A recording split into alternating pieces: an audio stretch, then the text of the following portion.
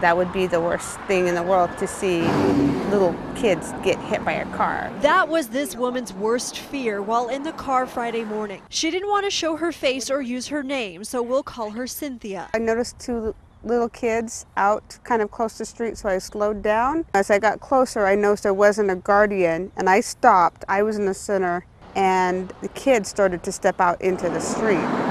Cynthia says she laid on her horn so the kids would stop.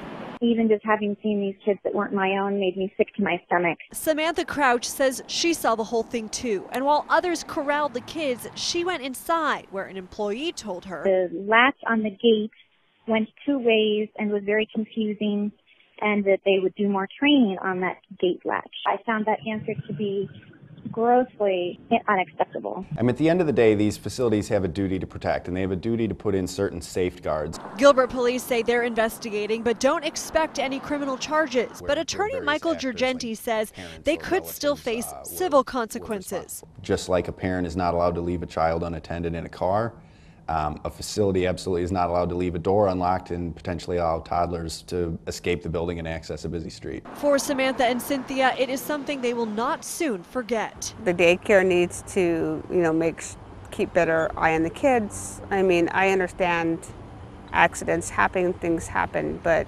staff should have paid better attention to those kids.